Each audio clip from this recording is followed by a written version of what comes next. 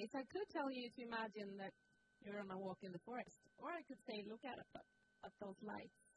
And imagine that you were sitting here in the morning and seeing a spider going up and down all the while people were presenting. That's what happened this morning. Spiders are amazing, and that's why I do research on spider silk. So it's one of nature's strongest material, and it even outcompetes Kevlar, which is the strongest man-made fiber of today.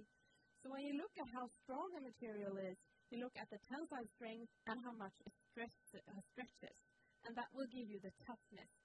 So spider silk is more than three times as tough as Kevlar, which we use for bulletproof vests. It has also uh, a number of amazing properties. It's biodegradable, and it has been used in traditional medicine for wound healing.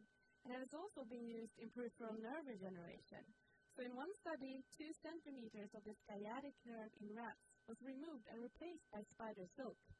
And the nerve regenerated. The nerve started feeling good again.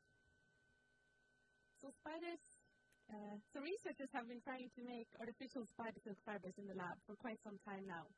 But no one has been able to actually spin silk fibers. And the question is if spiders can do it for us. Well, spiders are cannibalistic and territorial, but you could try. So you could put them into one of these machines and reel their silk onto spools, after which you can make a scarf. But it would take you 70 people, four years, and a million spiders to make a scarf, which is around 1 by 3 meters. So that is obviously not working. So people have been producing spider silk proteins in bacteria instead but as I said, no one has been able to make spider silk fibers, so we turned to nature and looked at how the expert, the spider, spins its silk. So we started with looking at morphology of spider silk glands. So the spider silk proteins are produced in abdominal glands of spiders. And we looked at the morphology of these glands and found something really surprising. So in the 70s, Yvonne Ridderstråle here at SLU developed a method to look at an enzyme, which is called carbonic anhydrase. So this is a hysteresis in a plastic embedded section of one of these glands. And what you're looking at is a single epithelial cell layer with a lumen at the top. And the black staining is active carbonic anhydrase. So as some of you may know, carbonic anhydrase is an enzyme which regulates acid-base balance in tissues.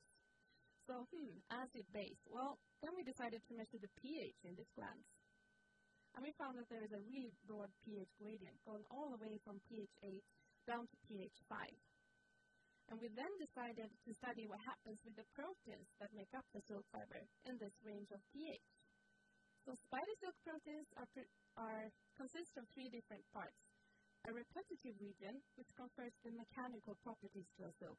So it decides if it's a strong fiber or an extendable fiber, or maybe both. The NT and the CT are two terminal domains, and these turn out to be the sensors of pH, so they react to pH. So at high pH, we have protein just lying around in solution feeling good. And as pH is lowered, the NT and CT, which are the sensors of pH, they change their structure so that the protein changes into a long protein chain that will eventually form a fiber at the end of the gland. So knowing this, we turn to the lab and ask ourselves how we can spin biomimetic spider silk fibers. And once upon a time, my supervisor Anna, she went to South Africa to gather a spider, which is called Euprosthenops, Euprosthenops australis. And she collected the DNA from these spiders and put it into bacteria, which we then culture in flasks, and we can then purify and concentrate this protein to the same extreme concentration as in the spider silk gland.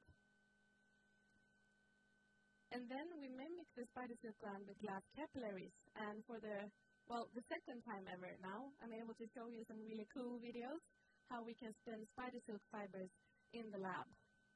So we get continuous fibers that we can roll up onto frames. And we can get up to 50 meters of spider silk fiber in one minute. We can then use this material for a bunch of cool stuff.